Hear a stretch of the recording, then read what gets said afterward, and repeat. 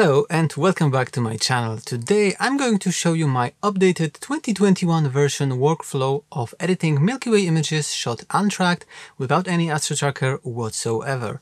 This process lets me take images, raw images that look like this and turn them into a final photo that looks like this. We are going to be using four different programs in order to achieve that, so it's gonna be fun. Buckle up, let's get started.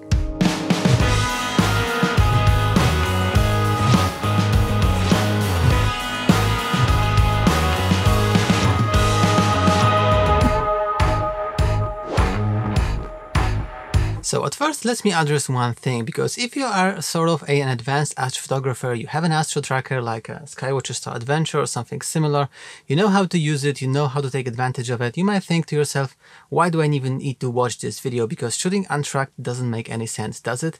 Well, I think it does, and mainly because of two reasons. The first reason is going to be just the time it takes to set up the star tracker. Sometimes you just don't have the time to do that.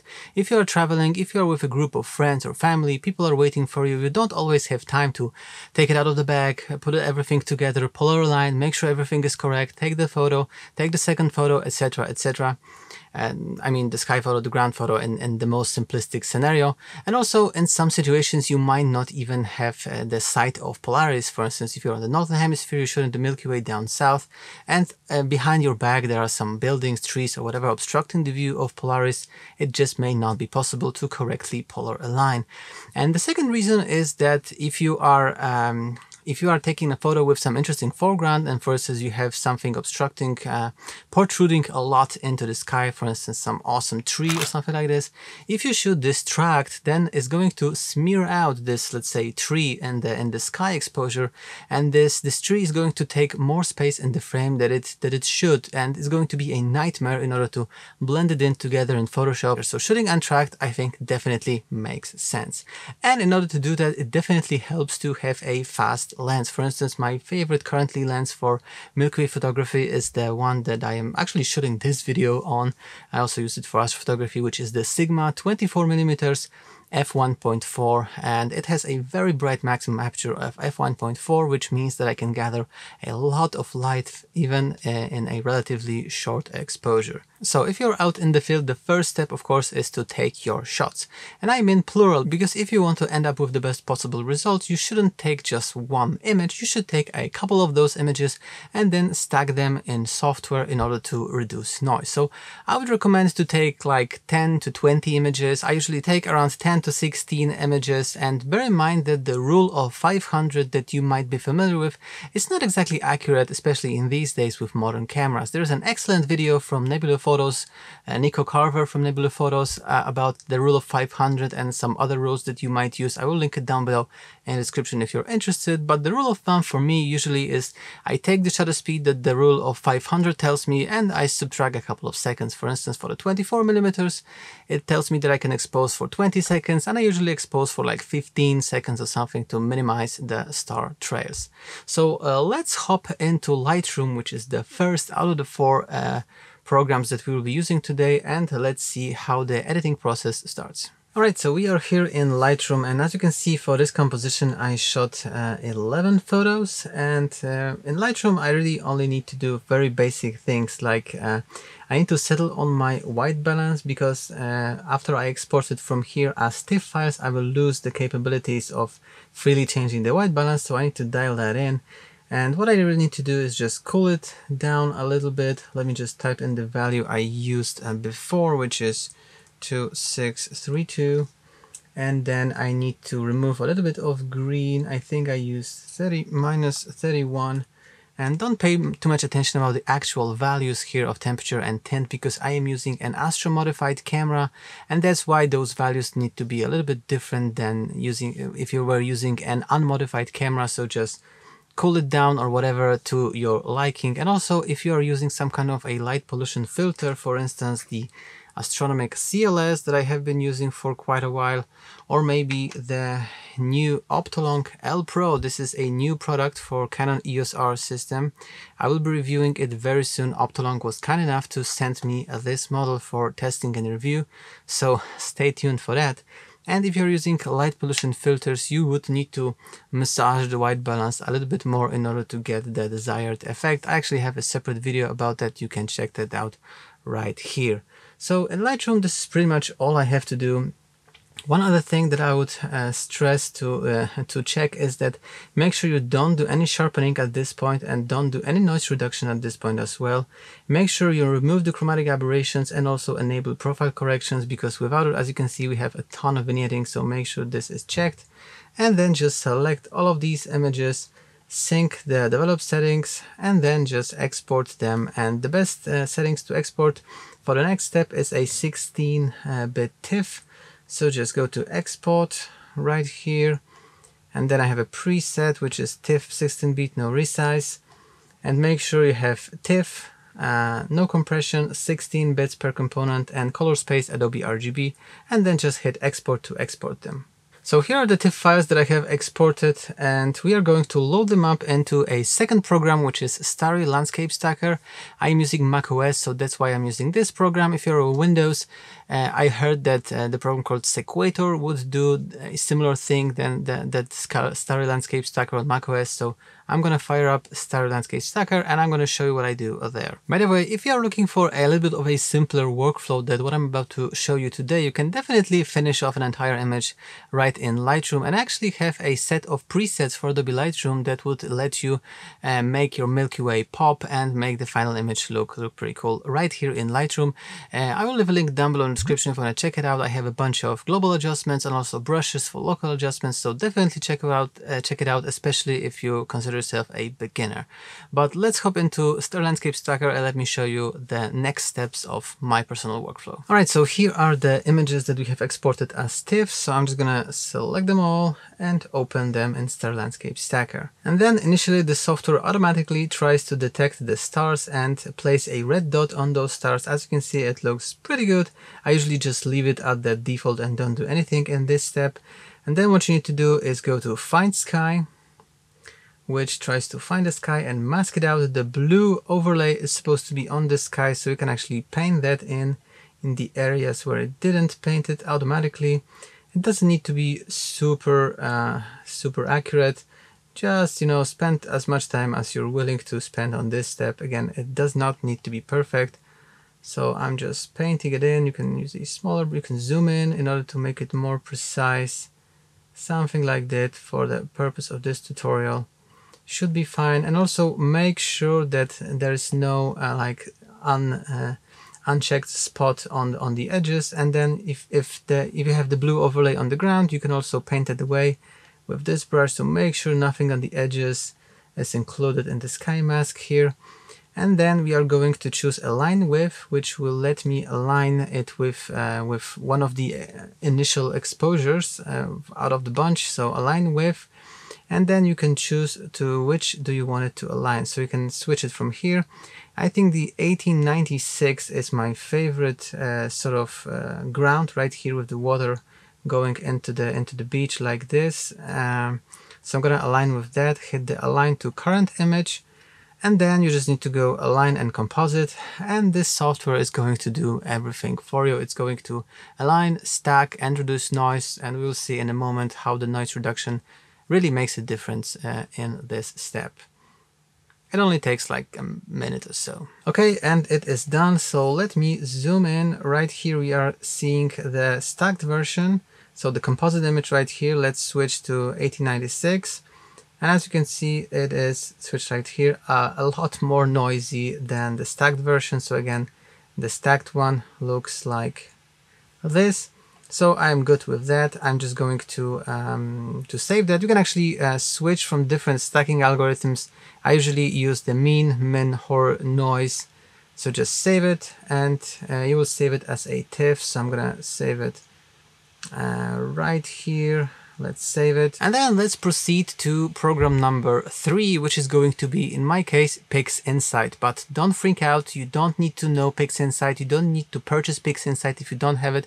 The step that I'm gonna, the only thing that I'm gonna do with PixInsight, you can actually do without PixInsight using a standalone program because we are going to be separating the stars from the from the rest of the image using the StarNet++ routine and this is a free standalone program that you can download. I will put the link down below in the description, but you if you have PixInsight, you can do that from within PixInsight, which is what I prefer to do. All right, so I have this stacked image open in PixInsight right here. I'm just going to go to Process, and Mask Generation, and StarNet. This is going to pop up this window and the, really the only thing that I need to do right here is to check this create star mask checkbox. This is going to make sure that we get a second image with stars only when this uh, algorithm is done removing the stars from this photo. So then just drag this triangle into this image and then honestly, we just wait and this program is doing everything for us and it will separate the stars from the rest of the image, which is a very important step because then we will be able to make some quite aggressive adjustments in the image without the stars, without bloating the stars and anything like this. And the the cool way about it is that I don't need to do any local adjustments to the Milky Way. I don't need to mask the Milky Way and increase the contrast in the Milky Way only without affecting the rest of the image. I don't need to do any kind of dodging and burning inside the Milky Way, which would impose that I'm actually making arbitrary decisions as to which part of the Milky Way should be brighter, which part should be darker all of the adjustments we are going to be doing globally, which in my opinion kind of keeps the authenticity of the final image. So when the StarNet routine is done, and it takes about 5 minutes on my machine, we are going to be presented with two images. Alright, and it is done, and as you can see we have exactly two images. One image is the original image without any stars in the shot, as you can see, and the second one is only the extracted stars. So right now I need to save both of these images and then bring everything over to Photoshop for the final steps of the edit. And then let's actually go back to Lightroom because I want to select my uh, favorite shot of the foreground, which was this one, the 1896 and then I'm gonna uh, I'm gonna actually remove some noise in this foreground because we are going to be blending the foreground from this shot only with the stacked uh, version of the sky. So I can actually create a virtual copy for instance. So create a virtual copy and then right here I am going to uh, go down here and let's apply for instance 25 noise reduction some color noise reduction. Okay and then right click, edit in, edit in Adobe Photoshop. Okay, so we are in Photoshop with this single exposure and let's bring over the uh, the starless and the stars right here. So I'm gonna go to Finder and then just bring over the starless image. Hit OK and then bring over the stars. Hit OK. For now we can actually hide the stars. We can rasterize both of these layers because I'm not to need the capabilities of smart objects here and it is going to be running smoother without the smart objects. So rasterize those layers. And then what I need to do is I need to actually blend in the starless version into my single background because as you can see the foreground right here doesn't look that good. I like the foreground in this shot so I'm gonna enable that and then I'm gonna go to select and select sky. And this is actually a pretty cool automated way to select the sky and Photoshop usually does a phenomenal job these days. So as you can see the sky is selected and then of course all I need to do is just go to this button which will create a mask. As you can see we have perfectly blended in the sky from this shot. So what I actually need to do is I want to create a group. I want to move this mask to the group and then I want to move the starless uh, sky into the group. I can uh, make it uh, blue, let's say, so we can see distinctively what is inside this group.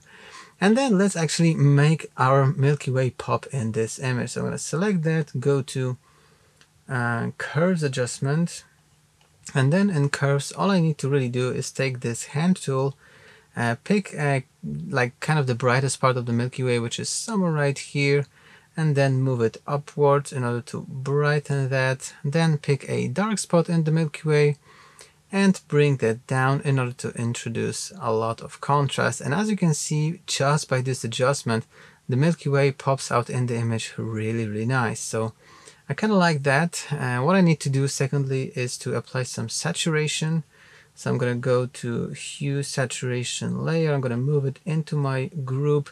Everything that is inside this group is going to be uh, masked using this layer mask. So it's a nice way to kind of do adjustments with the sky without touching the, the foreground itself. So I'm going to just increase the saturation maybe somewhere around 25. I think this looks really nice. And then maybe I can actually introduce some more contrast in the foreground. So the way I do it, I would select the background, uh, go to a rectangular marquee, uh, select my uh, select my background, sorry, select my foreground, and then I use a plugin called Lumenzia in order to automatically calculate the optimal curve uh, in order to introduce contrast in this area of the image. You don't have to use Lumenzia. This is a paid plugin. You can just dial in the curve manually. I'm just going to show you how it looks. It asks me if I want to feather the selection. I want to feather the selection. So it applies a layer mask to a curves adjustment. As you can see, the mask looks like this. It's feathered and the curves itself look kind of like this and this is without it this is with it and it kind of pops out the foreground a little bit from the image what I want to do next is I want to add some clarity to this sky so I'm just going to um, stamp visible everything command uh, option shift E on a Mac this is going to create me a single layer with everything that I see right here. I'm going to put it inside the group and actually maybe not. I can use some clarity in the foreground as well. So with this layer right here I'm gonna give it no color and then I want to go to filter uh, camera raw filter and at this point I am going to um, I'm going to add a little bit of clarity. Hang on. Yeah there we go I'm gonna add a little bit of clarity in order to pop this image a little bit maybe 20 something like this uh,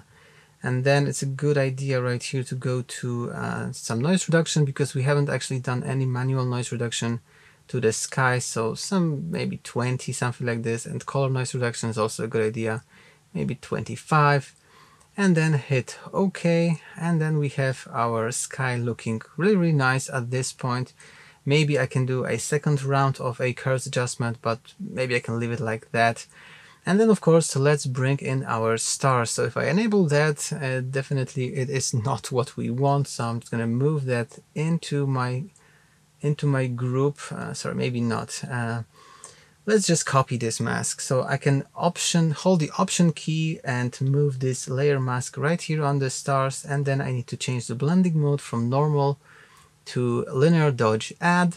This will uh, add the stars really nice again before and after. If you want to do some star reduction it is very easy because I have these stars on this on a separate layer. So maybe actually let's uh, create a group. Let's move this layer mask to the group. Let's move the stars into the group. And right here I can duplicate this layer by hitting command J on a Mac. Uh, let's name it uh, stars reduced and for star reduction, the easiest way, if you have them on a separate layer, is to go to Filter, make sure the proper layer is selected, of course, uh, Other, Minimum, and then the value that I like to use is around, uh, I think, half a pixel, something like this. Make sure Preserve Roundness is selected, then just hit OK. And then if I disable this layer, as you can see, the stars are really nice and reduced and not bloated at all. And this is pretty much how this image looks. The final touch that I would add is a little bit of uh, sharpening again. So stamp visible and then filter, sharpen, unsharp mask. And the settings that I like to use often are um, amount 80%, radius 1.5 pixels and threshold of 10. Just hit OK. And then maybe the very final step is to add some vignette. Again, I'm using Lumenzia for that. You don't have to and this adds a like final touch of a vignette to this image and this is pretty much how the final image looks. So as you can see, using all of these techniques that I have just presented to you in this video, I didn't need to do any local adjustments in the Milky Way itself like I used to like a year ago, two years ago. So I really like this technique. I really like the result. I could work on the contrast in the Milky Way by adding a second curves adjustment if I needed to. But as you can see, using those in my opinion, simple steps, you can create a awesome looking image. If I was going a little bit too fast, don't hesitate. Hit me up down below in the comments. I would gladly ask, uh, answer any questions that you might have. Also, you can support me on Patreon and then I would be able to engage with you even more. So link to my Patreon is also going to be in the description of this video. Make sure to stay tuned for future videos. I have this Optolong L Pro video that I will be working on very soon. So this is coming to the channel probably within like a month or something. So stoked on that. And of course I will be creating a lot more videos. So if you are not subscribed yet, it's a good idea to subscribe to my channel. Also give this video a like if you liked it. I would really appreciate it. And see you next time. Hopefully clear skies and bye bye.